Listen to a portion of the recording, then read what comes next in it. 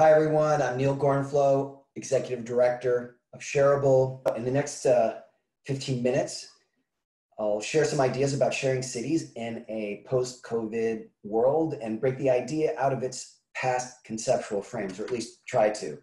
Uh, for instance, thinking about sharing cities as merely an engagement with the platform economy or sharing as a behavior. And um, you know, in doing so, I hope to expand the sharing cities paradigm, if you will, um, so that it can better enable cities to realize their potential for global transition.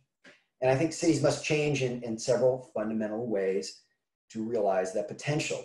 Uh, for instance, they, I think they must become uh, more self-governing, more independent from nation states, uh, more self-sufficient financially and materially, more democratic, their, their residents much more engaged in governing urban resources, and everyday commoning, and better able to cooperate and share resources with each other.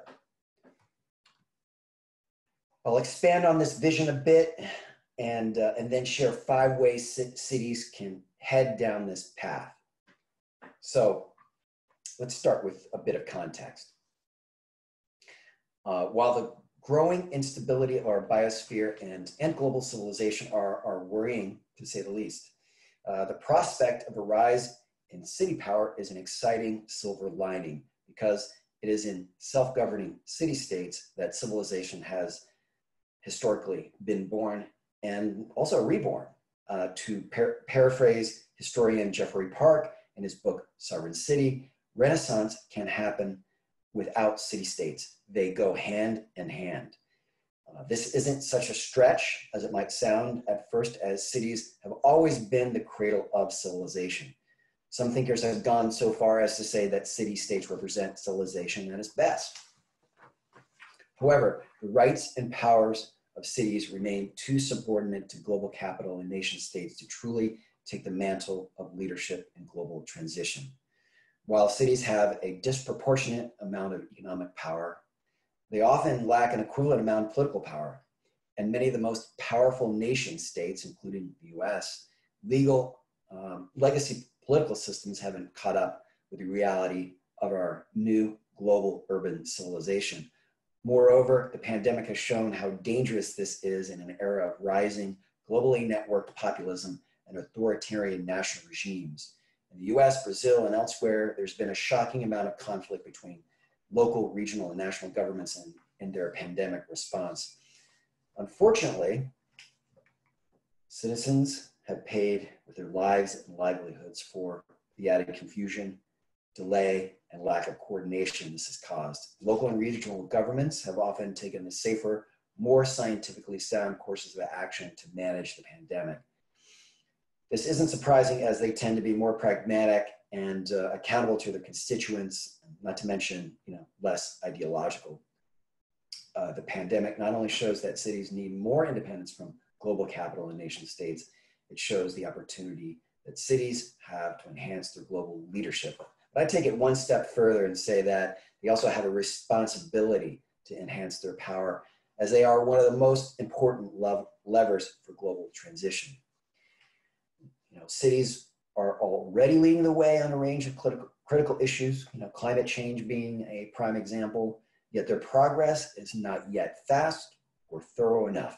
I doubt that cities will be able to realize their potential as agents of global trans transition within existing legal and political arrangements, but rather will need to work around, change, or even contest them. Cities will likely need to redefine the relationship to the residents, to each other, and to their nation state host in order to realize their potential for, for transition. This will need to be a redefinition that leverages cities' soft power, their culture and economic power, on the way to winning more hard power, the legal and political sort. That said, such a redefinition can't leave rural areas behind as cities have done in the recent past. Um, it's worth considering combining the ancient Greek idea of the polis with newer ideas like bioregionalism and regenerative development, which put place, social, environmental, and cultural values center stage. In this context, we can stretch our imagination and think about how cities of today can fight COVID 19 and other shared challenges into the future.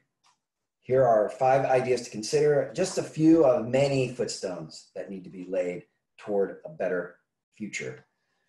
So, number one, municipal finance. Um, you know, how can the huge amount of money that cities control be better leveraged for transition? For instance, cities' purchasing power, massive balances they keep at commercial banks, which commercial banks leverage to create credit. Cities could do the same, and some do.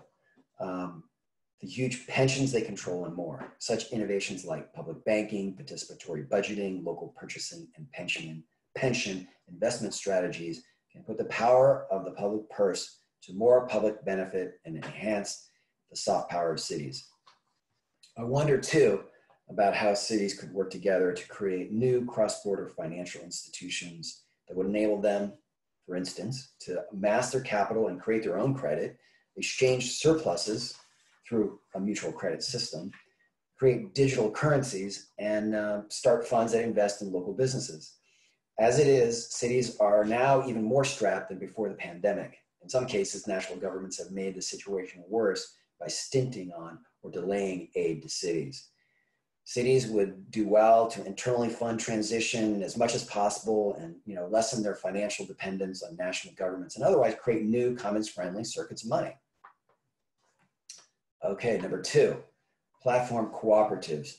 Much of the platform econ economy is centered in cities. And what ways can cities work together to foster or create locally controlled wealth spreading platform businesses? Why not create platform businesses on a franchise model with shared ownership on a local level and shared infrastructure, marketing, and branding on a global level? There's no better time as technology barriers are minimal. Technology frameworks exist to quickly and cheaply build platforms. The key challenges, is, uh, challenges are governance, scaling, and design, not technology. Cities have played nothing but defense up to this point, and uh, perhaps it's high time for them to play offense. Number three, local production, shared global supply chains.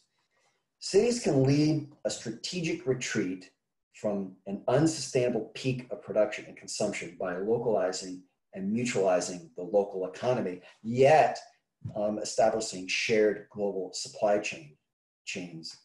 There may be a prosperous way down, to borrow from the title of a book that applies the principles of ecosystem ecology to energy descent. And in that book, um, it really focuses on you know, how to, not to stop a collapse or slow a collapse, but how to organize a collapse and benefit from that organized collapse. Open source models deployed within and between cities would be a key feature of such a strategy. Michel Bauwens' concept of cosmo-local production applies here, which in, which in short is about lo locally controlled production using globally shared knowledge. This, along with shared global supply chains, would increase food security, prevent shortages of, of key material, and improve disaster response. Okay, number four, grassroots mutual aid.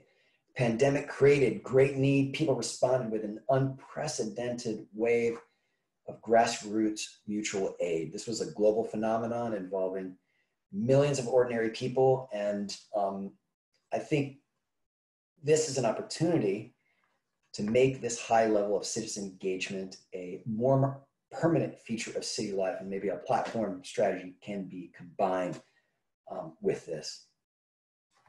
Number five, infrastructure for sharing. Um, Seoul and many other cities have experience with sharing neighborhoods, urban villages, co-housing, co-living, and other forms of urban intentional community COVID-19 also has cities around the world rethinking the use of, of streets, parks, and public space to give people more space in cities. This experience uh, has profound implications in the post-COVID world because while we tend to take them for granted and over, overemphasize the role of individual behavior change, our social networks, physical environments, and more, our total context have more influence on our behavior than maybe anything else. So how can this experience be expanded through city's spatial organization, built environment, and platform footprint to foster more widespread and daily commoning? And how can it create a kind of total context for commoning?